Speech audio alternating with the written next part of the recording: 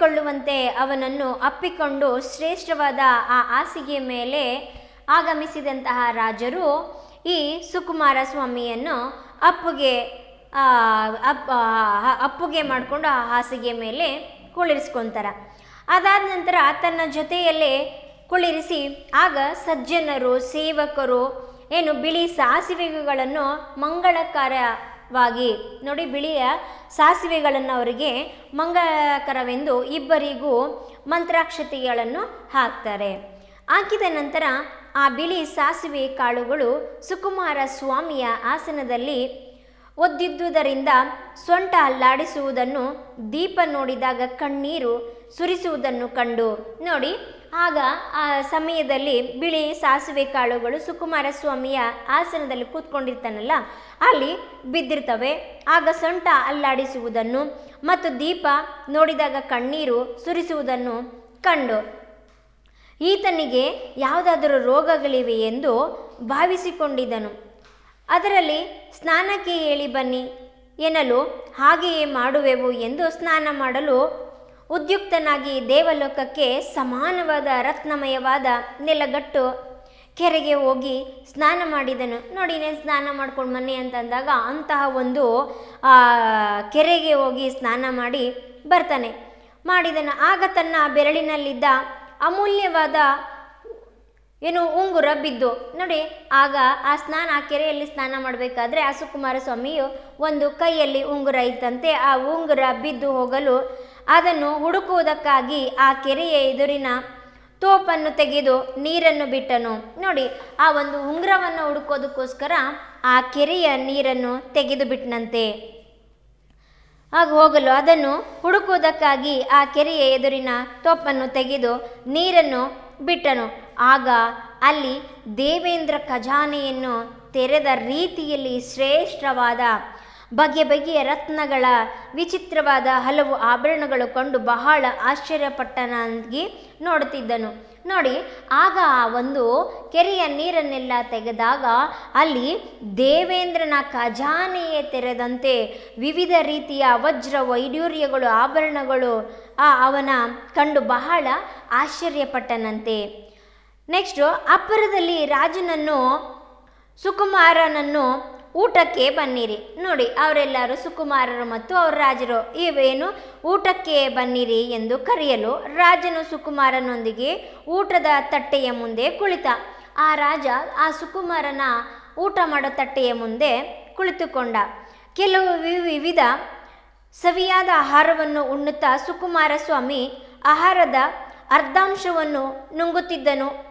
ಇನ್ನುಳಿದ ಅರ್ಧಾಂಶ ಆಹಾರವನ್ನು ಉಗುಳುತ್ತಿದ್ದನು. ನೋಡಿ, ಊಟಕ್ಕೆ ಕುಂತಾಗ ಆ ಒಂದು ಸುಕುಮಾರ ಸ್ವಾಮಿಯು ಆಹಾರದಲ್ಲಿ ವಿವಿಧ ರೀತಿಯ ಒಂದು ಅಡುಗೆಯನ್ನು ಅರ್ಧ ತಿಂತಿದ್ದಂತೆ ಅರ್ಧ ಉಗುಳುತ್ತಾ ಇದ್ದಂತೆ ಅಂದರೆ ಎಸಿತಾ ಇದ್ದಂತೆ ಆಹಾರದ ಅರ್ಧ ಅಂಶವನ್ನು ನುಂಗುತ್ತಿದ್ದನು, ಇನ್ನೂ ಅರ್ಧವನ್ನು, ಅರ್ಧ ಆಹಾರವನ್ನು ಉಗುಳುತ್ತಿದ್ದನಂತೆ.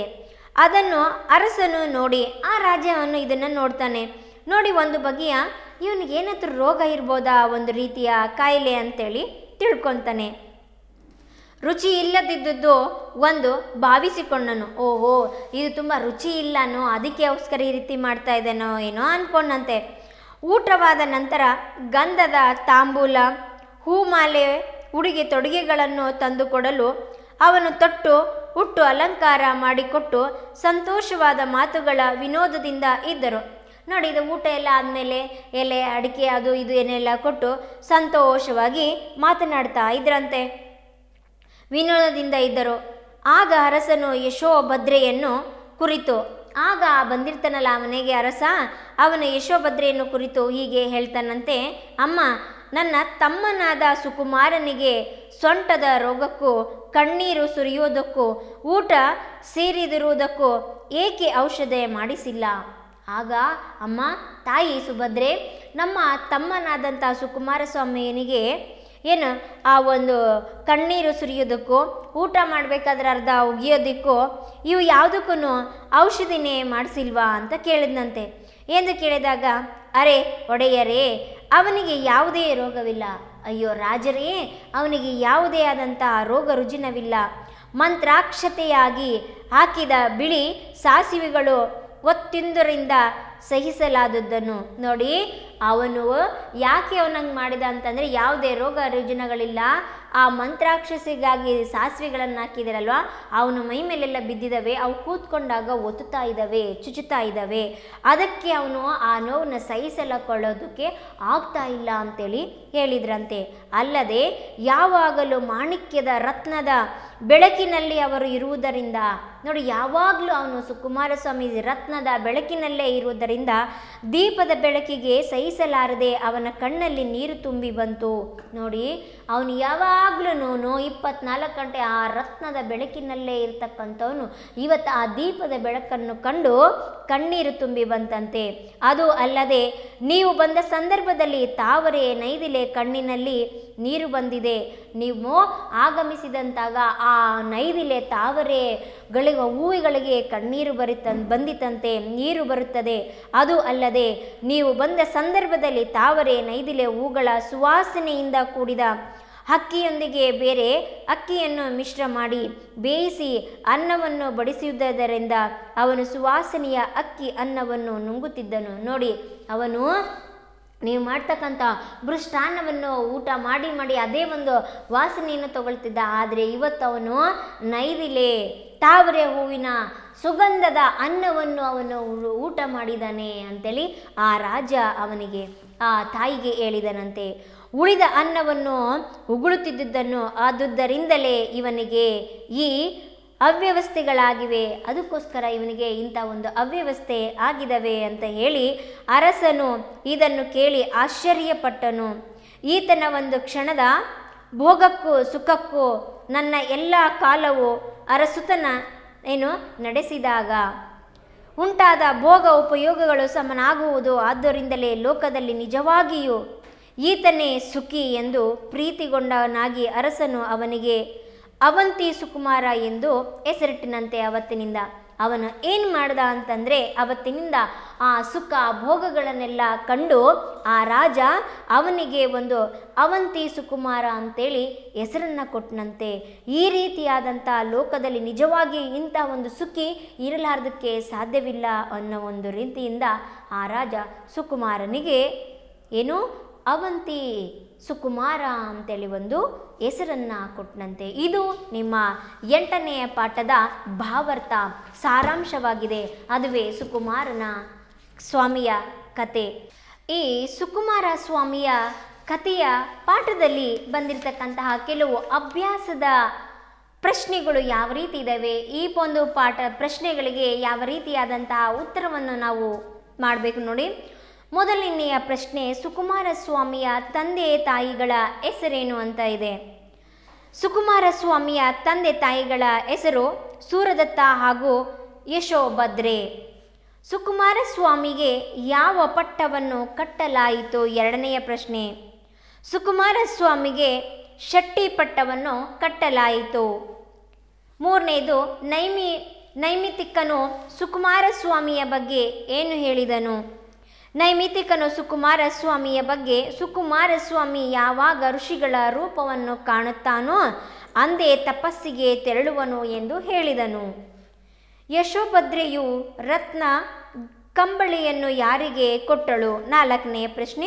ಇದಕ್ಕೆ ಉತ್ತರ. ಯಶೋಭದ್ರೆ ರತ್ನ ಗಂಬಳಿಯನ್ನು ಕೊಂಡು ಅದನ್ನು ಒಟ್ಟು ಮೂವತ್ತೆರಡು ತುಂಡುಗಳನ್ನಾಗಿ ಮಾಡಿ ತನ್ನ ಮೂವತ್ತೆರಡು ಸೊಸೆಯಂದಿರಿಗೆ ಹಂಚಿಕೊಟ್ಟಳು. ಅರಸರ, ಅರಸ ಋಷಭಾಂಗನ ಉಂಗುರವು ಯಾವಾಗ ಕೆಳಕ್ಕೆ ಬಿದ್ದಿತು? ನೋಡಿ, ಅರಸ ಋಷಭಾಂಕನ ಉಂಗುರವು ಸ್ನಾನ ಮಾಡುವಾಗ ಕೆಳಗೆ ಬಿದ್ದು ಹೋಗಿತ್ತು. ಇಷ್ಟು ಈ ಒಂದು ಪಾಠದ ಪ್ರಶ್ನೆಗಳಾಗಿದ್ದಾವೆ ಹಾಗೆ ಈ ಒಂದು ಪಾಠದಲ್ಲಿ ಮೂರು ನಾಲ್ಕು ವಾಕ್ಯಗಳಲ್ಲಿ ಉತ್ತರಿಸಬಹುದಾದಂಥ ಪ್ರಶ್ನೆಗಳು. ಸುಕುಮಾರ ಸ್ವಾಮಿಯು ಹೇಗೆ ಸುಖ ಭೋಗಗಳನ್ನು ಅನುಭವಿಸುತ್ತಿದ್ದನು ಅಂತ ಇದೆ. ಸುಕುಮಾರ ಸ್ವಾಮಿಯು ತಾರುಣ್ಯವನ್ನು ಪಡೆದು ಅತ್ಯಂತ ರೂಪ ಲಾವಣ್ಯ ಸೌಭಾಗ್ಯಕ್ಕೆ ಕಾಂತಿಯಿಂದ ಕೂಡಿದವನಾದನು. ಅವನಿಗೆ ಮೂವತ್ತೆರಡು ಲಾ ಗೃಹಗಳು ಅತ್ಯಂತ ರೂಪ ಲಾವಣ್ಯ ಸೌಭಾಗ್ಯ, ಕಾಂತಿ ಹಾವಭಾವ ವಿಲಾಸ, ವಿಭ್ರಮಗಳಿಂದ ಕೂಡಿ ದೇವದತ್ತ ಸ್ತ್ರೀಯರನ್ನು ಹೋಲುವ ಮೂವತ್ತೆರಡು ಮಂದಿ ದಿವ್ಯರಾದ ಸ್ತ್ರೀಯರು ಅವನಿಗೆ ಇದ್ದರು. ಈ ರೀತಿಯಾಗಿ ಮೂವತ್ತೆರಡು ಬಗೆಯ ನಾಟ್ಯಗಳು ಮೂವತ್ತೆರಡು ಬಗೆಯ ಹೊನ್ನು, ಐದು ಬಗೆಯ ರತ್ನಗಳು ಎಂಬೆಲ್ಲವುಗಳಿಂದ ಕೂಡಿ ಸುಕುಮಾರ ಸ್ವಾಮಿ ಎಲ್ಲ ರೀತಿಯ ಸುಖಭೋಗಗಳನ್ನು ಅನುಭವಿಸುತ್ತಿದ್ದನು. ಈ ರೀತಿಯಾಗಿ ಬರಿಬೇಕು. ಎರಡನೆಯ ಪ್ರಶ್ನೆ, ಅರಸ ಋಷಭಾಂಕನು ಆಶ್ಚರ್ಯಗೊಳ್ಳಲು ಕಾರಣವೇನು? ಯಶೋಭದ್ರೆಯ ಲಕ್ಷ ದೀನರಗಳನ್ನು ಕಟ್ಟುತ್ತಾ ರತ್ನಗಂಬಳಿಯನ್ನು ಕೊಂಡು ಅದನ್ನು ಮೂವತ್ತೆರಡು ತುಂಡುಗಳನ್ನಾಗಿ ಮಾಡಿ ತಮ್ಮ ಮೂವತ್ತೆರಡು ಸೊಸೆಯಂದಿರಿಗೆ ಹಂಚಿಕೊ, ಹಂಚಿಕೊಟ್ಟು ಅವರು ಆ ತುಂಡುಗಳನ್ನು ತಮ್ಮ ತಮ್ಮ ಪಾದುಕೆಗಳಿಗೆ ಸಿಕ್ಕಿಸಿದರು. ಈ ಸಂಗತಿಯನ್ನು ರಾಜನು ಕೇಳಿ ಆಶ್ಚರ್ಯಪಟ್ಟು ಅವರ ವೈಭವವನ್ನು ನೋಡಲು ಅರಸನಾದ ಋಷಭಾಂಕನು ಸುಕುಮಾರ ಸ್ವಾಮಿಯ ಮನೆಗೆ ಬಂದು ಮನೆಗೆ ಬರುವುದನ್ನು ಕಂಡು ಯಶೋಭದ್ರೆ ಕೇಳಿ ರಾಜರು ಬರುವ ದಾರಿಯಲ್ಲೆಲ್ಲ ನೀಲ ವಜ್ರ ಪದ್ಮರಾಗ ಮತ್ತು ಹವಳ ಎಂಬ ಐದು ಬಗೆಯ ರತ್ನಗಳಿಂದ ರಂಗೋಲಿ ಬಟ್, ರಂಗೋಲಿಯ ಬಟ್ಟೆಯನ್ನು ಹಾಕಿಸಿದಳು. ನೇತ್ರಪಟು ತೂಗುಲ ಜಿ ಚೀನಾ ಎಂಬ ಬಗೆ ಬಗೆಯ ರೇಷ್ಮೆಯ ದಿವ್ಯವಾದ ಬಟ್ಟೆಗಳನ್ನು ಹಾಕಿಸಿದಳು. ಮುತ್ತಿನ ಸರಗಳಿಂದ ತೋರಣ ಕಟ್ಟಿಸಿದಳು ರಾಜನ ಆಗಮನವನ್ನು ಎದುರು ನೋಡುತ್ತಿದ್ದರಲು ರಾಜನು ಇಂದ್ರನ ಅರಮನೆಯನ್ನು ಮೀರಿಸುವ ಅಂದ ಚಂದ ಉಪ್ಪರಿಗೆ ಮನೆಯನ್ನು ಪ್ರವೇಶಿಸಿ ಆಶ್ಚರ್ಯಗೊಂಡನು. ಮೂರನೇದು ಋಷಭಾಂಕನು ಸುಕುಮಾರ ಸ್ವಾಮಿಗೆ ವ್ಯಾಧಿ ಇದೆಯೇ ಎಂದು ಎಂದುಕೊಳ್ಳಲು ಕಾರಣವೇನು? ಸುಕುಮಾರನು ಋಷಭಾಂಕ ರಾಜನು ಭೇಟಿ ಮಾಡಿದಾಗ ರಾಜನು ಸುಕುಮಾರ ಸ್ವಾಮಿಯನ್ನು ಅಪ್ಪಿಕೊಂಡು ಶ್ರೇಷ್ಠವಾದ ಆ ಹಾಸಿಗೆಯ ಮೇಲೆ ಜೊತೆಯಲ್ಲಿ ಕುಳಿಸಿದಾಗ ಆಗ ಸಜ್ಜನರು, ಸೇವಕರು, ಬಿಳಿ ಸಾಸಿವೆಗಳನ್ನು ಮಂಗಳಕರವೆಂದು ಇಬ್ಬರಿಗೂ ಮಂತ್ರಾಕ್ಷತೆಯನ್ನು ಹಾಕಿದನು. ಆ ಬಳಿ ಬಿಳಿ ಸಾಸಿವೆಗಳು ಸುಕುಮಾರ ಸ್ವಾಮಿಯ ಆಸನದಲ್ಲಿ ಒತ್ತಿದ್ದರಿಂದ ಸೊಂಟ ಅಲ್ಲಾಡಿಸುವುದನ್ನು, ದೀಪ ನೋಡಿದಾಗ ಕಣ್ಣೀರು ಸುರಿಸುವುದನ್ನು ಕಂಡು ಈತನಿಗೆ ರೋಗಗಳಿರಬಹುದೆಂದು ಭಾವಿಸಿದನು.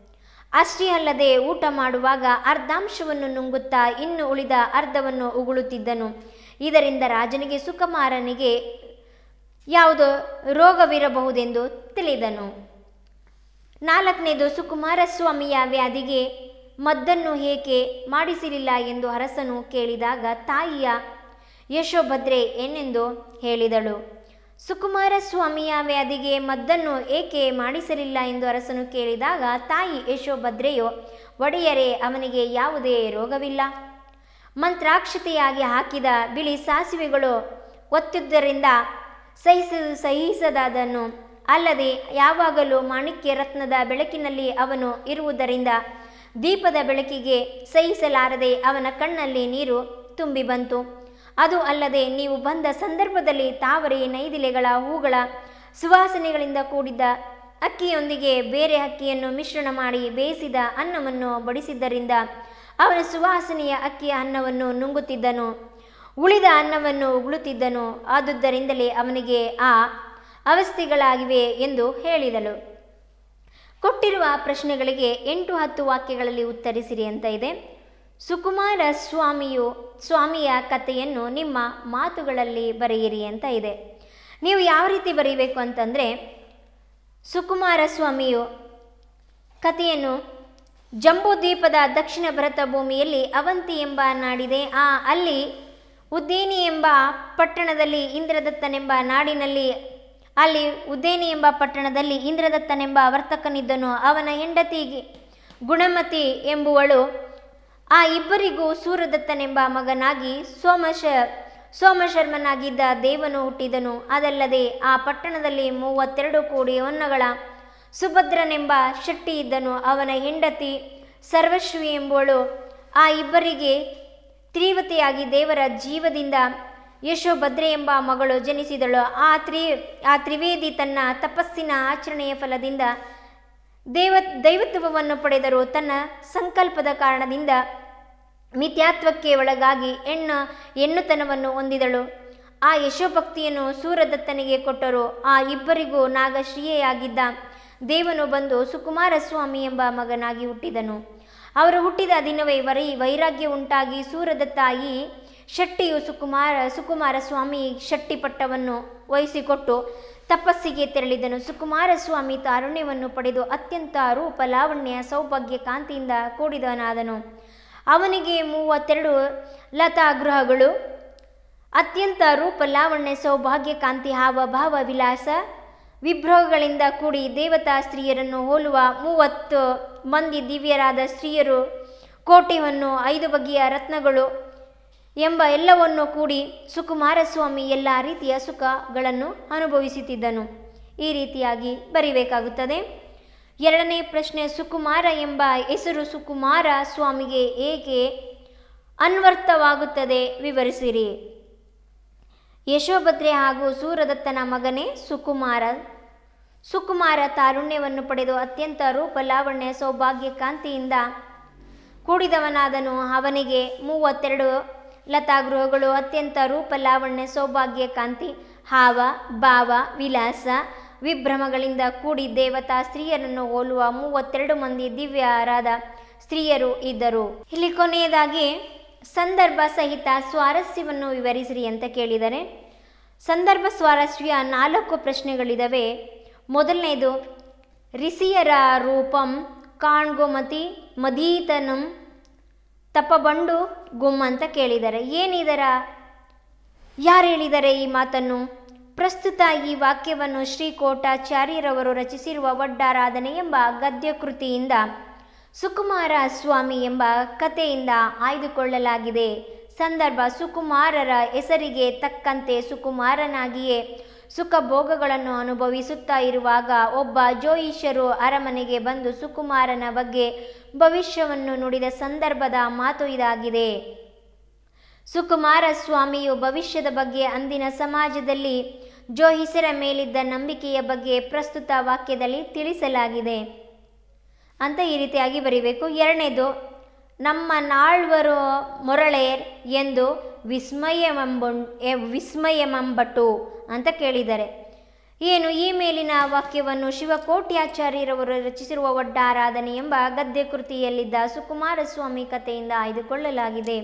ಸಂದರ್ಭ, ಯಶೋಭದ್ರೆ ರಾಜ ಋಷಭಾಂಕನು ಸುಕುಮಾರಸ್ವಾಮಿಯನ್ನು ನೋಡಲು ಬಂದಾಗ ಆತನನ್ನು ವಿಜೃಂಭಣೆಯಿಂದ ಸ್ವಾಗತಿಸಿದಳು. ರಾಜನು ಸುಕುಮಾರನಲ್ಲಿ, ಎಂದು ಕೇಳಲು ತಾಯಿ ಮಗನನ್ನು ರಾಜರು ತಮ್ಮನ್ನು ಕಾಣಲು ಬಂದಿರುವುದಾಗಿ ಹೇಳಿದಾಗ ಸುಕುಮಾರನು ಆಶ್ಚರ್ಯದಿಂದ ಈ ಮಾತನ್ನು ತಾಯಿಗೆ ಹೇಳಿದನು. ಯಶೋಧರೆ ರಾಜರು ಬಂದಿರುವುದಾಗಿ ಕೇಳಿದಾಗ ಸುಕುಮಾರನು, ರಾಜರು ಎಂದರೆ ಮರು ಪ್ರಶ್ನೆ ಮಾಡಿದನು. ಆಗ ಯಶೋಧರೆಯು ನಮ್ಮನ್ನು ಆಳುವವರು ಎಂದಾಗ ಸುಕುಮಾರನಿಗೆ ಆಶ್ಚರ್ಯವಾಗುವುದು. ಆತನು ತನ್ನ ತಾಯಿ ಯಶೋದೆಗೆ ನಮ್ಮನ್ನು ಆಳುವವರು ಇರುವರೇ ಎನ್ನುತ್ತಾ ಈ ಮೇಲಿನ ವಾಕ್ಯವನ್ನು ತಾಯಿಗೆ ಹೇಳುತ್ತಾನೆ.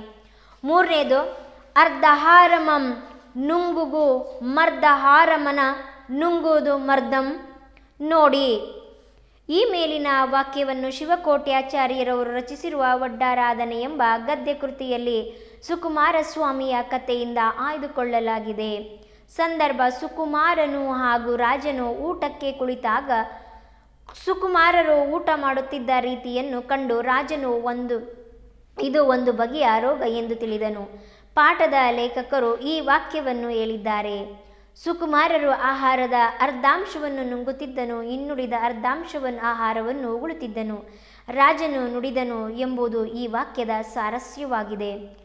ಸುಕುಮಾರ ಸ್ವಾಮಿಯು ಕೋಮಲತೆಯ ಬಗ್ಗೆ ಇಲ್ಲಿ ತಿಳಿಸಿಕೊಡಲಾಗಿದೆ. ಆಹಾರದ ಅರ್ಧಾಂಶ ನುಂಗುವುದನ್ನು ಇನ್ನು ಆಹಾರದ ಅರ್ಧಾಂಶವನ್ನು ಉಗುಳುವುದನ್ನು ಗರ್ವದ ರೂಪು ಕೊಟ್ಟಿದೆ ಭಾಷೆ ಕಠಿಣವಾಗಿದ್ದರೂ ಕುತೂಹಲಕಾರಿಯಾಗುವುದು. ಇದು ಇದರ ವಿಶೇಷತೆಯಾಗಿದೆ. ನಾಲ್ಕನೇದು, ಅವಂತಿ ಸುಕುಮಾರನೆಂದು ಪೆಸರನಿಟ್ಟಂ ಈ ಮೇಲಿನ ವಾಕ್ಯವನ್ನು ಶಿವಕೋಟ್ಯಾಚಾರ್ಯರು ರಚಿಸಿರುವ ಒಟ್ಟಾರಾಧನೆಯ ಸುಕುಮಾರ ಸ್ವಾಮಿ ಕತೆ ಎಂಬ ಗದ್ಯ ಭಾಗದಿಂದ ಆಯ್ದುಕೊಳ್ಳಲಾಗಿದೆ. ಸಂದರ್ಭ ರಾಜ ಋಷಭಾಂಕನು ಸುಕುಮಾರನ ಭೋ, ಭೋಗ ವೈಭೋಗಗಳ ಆತನು ಅನುಭವಿಸುತ್ತಿದ್ದ ಐಷಾರಾಮಿ ಜೀವನವನ್ನು ಕಂಡಾಗ ರಾಜನು ಸುಕುಮಾರನನ್ನು ಕಂಡು ರಾಜನು ಈ ಮಾತನ್ನು ಹೇಳಿದನು. ಯಶೋಭದ್ರೆಯು ರಾಜನಿಗೆ ಯಾವ ರೋಗವೂ ಇಲ್ಲವೆಂಬ ಆತನ ಕೋಮಲವಾದ ಶರೀರ ಇದನ್ನು ಸಹಿಸಲಾರದೆಂದು ಆದ್ದರಿಂದಲೇ ಈ ರೀತಿ ಎಂದು ಹೇಳಿದಾಗ ರಾಜನು, ಈತನು ನಿಜವಾಗಿಯೂ ಅವಂತಿಯ ಸುಕುಮಾರನೇ ಹೌದು. ಇದು ಈತನ ಅನ್ವರ್ಥನಾಮ ಎಂದು ಹೇಳಿದನು. ಇದರ ವಿಶೇಷತೆ, ಸುಕುಮಾರನ ಕೋಮಲ ಶರೀರದ ಬಗ್ಗೆ ಹಾಗೂ ಆತನ ಸುಖ ಭೋಗಗಳ ಬಗ್ಗೆ ಈ ವಾಕ್ಯ ಹೇಳಲಾಗುತ್ತದೆ. ಇಷ್ಟು ನಿಮ್ಮ ಹತ್ತನೇ ತರಗತಿ ಎಂಟನೇ ಪಾಠ ಸುಕುಮಾರ ಸ್ವಾಮಿಯ ಕಥೆಯ ಅಭ್ಯಾಸದ ಪ್ರಶ್ನೆಗಳಿಗೆ ಉತ್ತರಗಳು ಆಗಿವೆ.